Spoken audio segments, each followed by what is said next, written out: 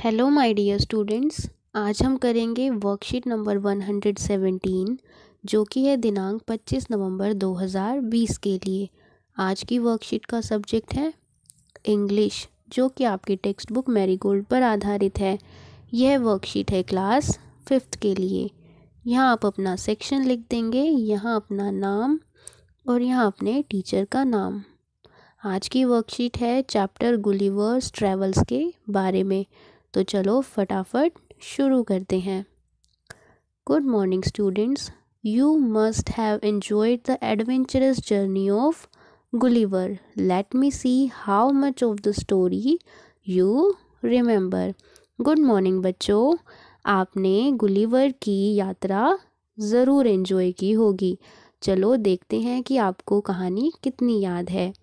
तो आपके लिए पहला प्रश्न है oops I jumble the story please write the story in the correct sequence and number them आपको क्या करना है? ये है गुलीवर की कहानी।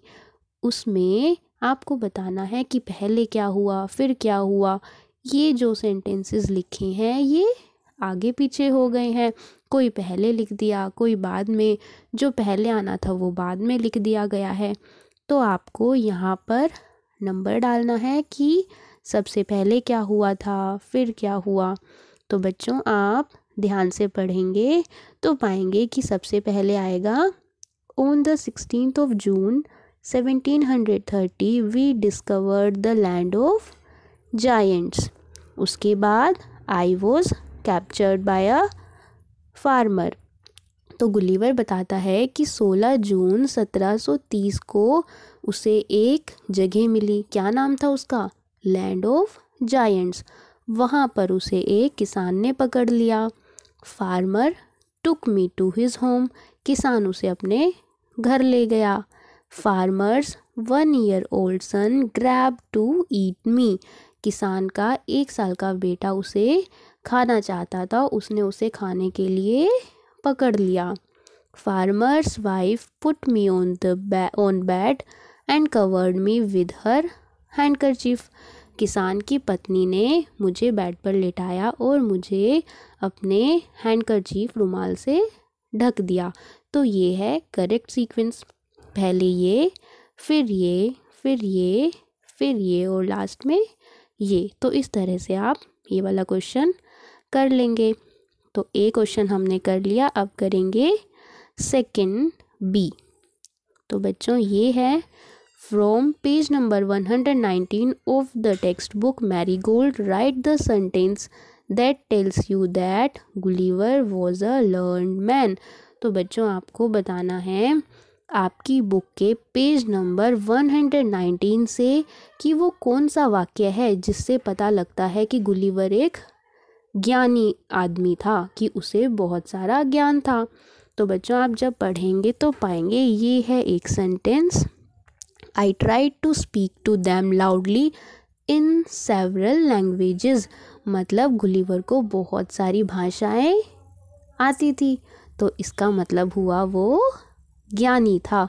तो हम लिख सकते हैं the sentence that tells us about Gulliver's being a learn man is I try to speak to them loudly in several languages यही वाक्य हमने यहाँ लिख दिया।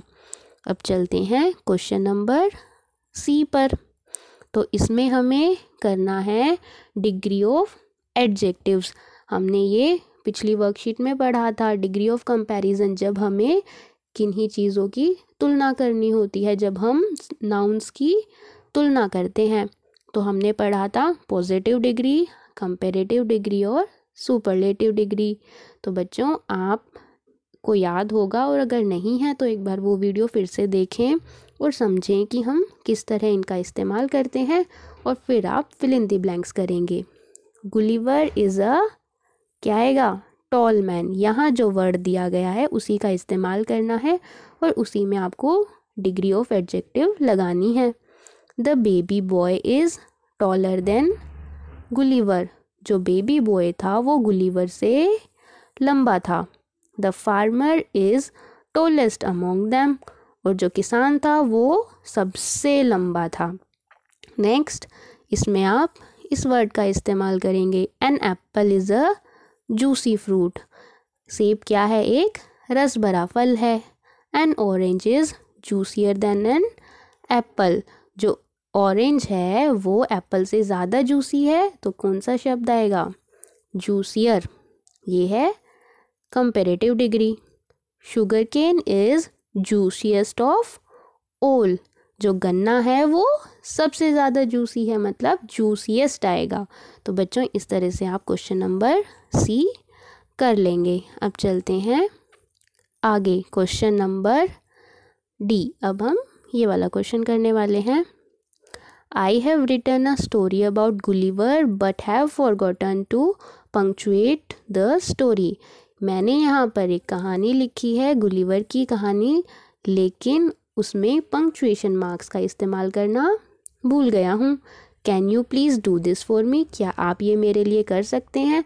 तो हमने बच्चों पंक्चुएशन मार्क के बारे में पढ़ा था पिछली वर्कशीट में। तो आपको उनका इस्तेमाल करना है कि कहाँ पर कैपिटल लेटर आना चाहिए, कहाँ पर फुल स्टॉप आना चाहिए, कहाँ पर अपस्ट्रॉफी का इस्तेमाल होगा। तो आप वो सब देखेंगे। और ये वाला क्वेश्चन करेंगे। तो आप करेंगे Gulliver love to sail to distant lands Gulliver को अलग अलग जगह पर जल यात्रा के द्वारा जाना पसंद था। He wanted to become a sailor वह एक नाविक बनना चाहता था।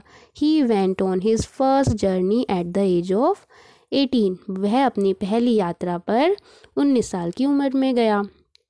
There was a heavy storm and ship was wrecked but he manage to save himself तब वो अपनी पहली यात्रा पर गया तो वहाँ पर बहुत आंधी आई और उसकी जो शिप थी वो एकदम बर्बाद हो गई। लेकिन वो अपने आप को बचाने में सफल रहा। ही रिटर्न होम सेफली वह अपने घर सुरक्षित आ गया। Gulliver's wife felt so happy to see him Gulliver की पत्नी उसे देखकर बहुत खुश हुई। तो बच्चों, यहाँ कुछ चीज़ें हैं, आप उनको करेंगे। जैसे यहाँ पर जी बड़ा आएगा हर जगह आप फुल स्टॉप का इस्तेमाल करेंगे।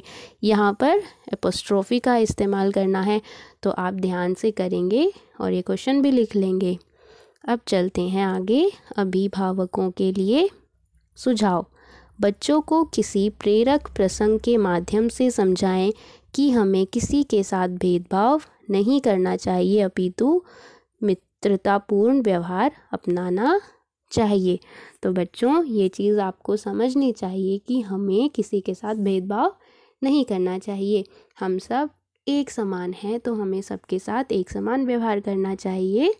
हमें किसी को बुरा भला कभी नहीं कहना चाहिए। तो बच्चों, ये थी आपकी आज की वर्कशीट आप कीजिए और अपने व्हाट्सएप ग्रुप पर सेंड कीजिए। थैंक यू बच्चों। Have a nice day and take care